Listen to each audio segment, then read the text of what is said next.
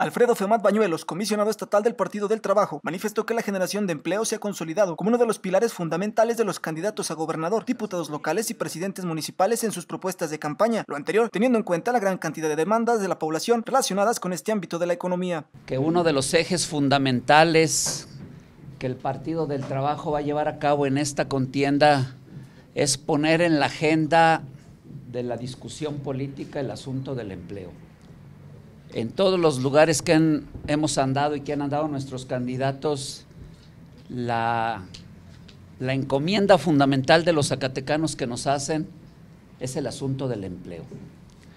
Y digo que nosotros, el Partido del Trabajo, tenemos que tomar muy en serio esta petición, porque realmente la gente no está pidiendo que le des. La gente ya no quiere gobiernos que les den dádivas, lo que quieren es que los gobiernos generen condiciones para que exista empleo en Zacatecas y buen empleo. Con imágenes de Alberto Hernández para B15 Noticias, Juan Pablo Castro.